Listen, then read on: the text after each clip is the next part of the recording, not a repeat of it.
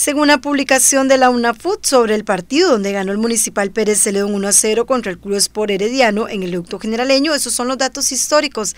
El argentino Hernán Fener llegó a 100 partidos en la primera división. El técnico generaleño Johnny Chávez acabó con 32 partidos consecutivos sin poder ganarle como estratega al Herediano.